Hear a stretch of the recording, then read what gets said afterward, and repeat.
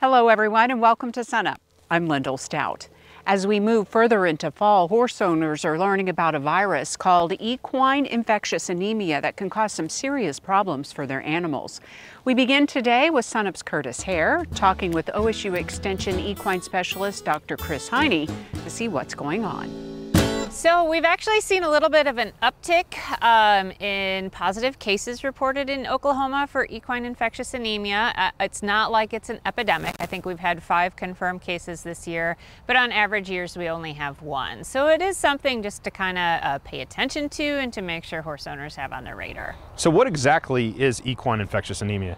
So unfortunately, um, EIA, or equine infectious anemia, does not have any treatment, cure, or vaccine. So that's why it's kind of problematic. So um, essentially, how we've tried to eliminate EIA is by identifying horses that are positive for the virus and then essentially removing them from the population or uh, eliminating from them being any risk to other horses.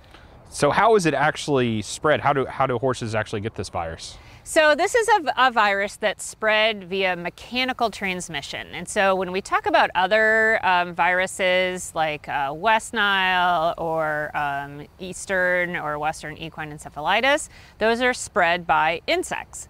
Well, EIA is also spread by insects, but in this case, the virus isn't essentially hiding inside of the insect. It's taking a ride from the mouth parts that have used to pick up that blood meal. So essentially, if a horse, or it's sorry, if a fly feeds on a horse and it's got infected blood, when it flies to the other horse, it injects it into them.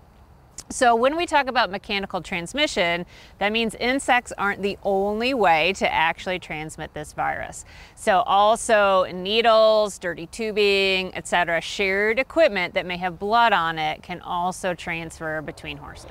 So you mentioned that there's no vaccine and there's no real treatment for this disease. So when it comes to prevention, what are some things that you can do other than kind of like separating, you know, infected animals from non-infective animals?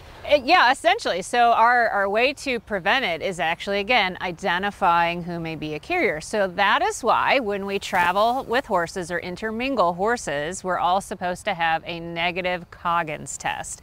So that is this annual uh, blood draw that is sent off to uh, a lab to confirm whether or not the horse has EIA. So as long as your horse is clean and he's around other clean horses, then we really don't worry about being at risk.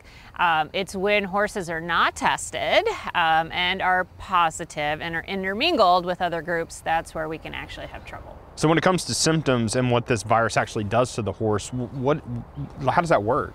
So essentially the, the trouble with EIA is that horses can um, get so anemia pretty severely and acutely and so actually can die from it.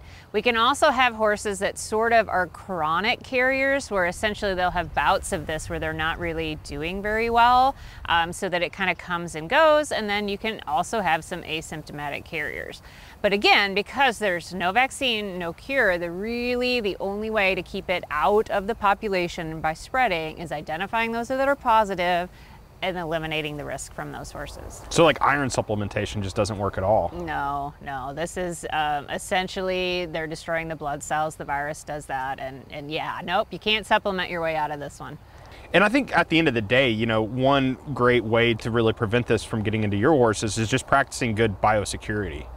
Yeah, absolutely. So the big thing we always say is you cannot share um, equipment that carries blood between horses, right? So we, that's why we don't share needles with horses, tubing, even um, uh, dental equipment that may have blood on it needs to be cleaned before it's used on the next horse. All right, thanks, Kris. Kris Hiney, Extension Equine Specialist here at Oklahoma State University. And if you'd like some more information on equine infectious anemia, go to our website, sunup.okstate.edu.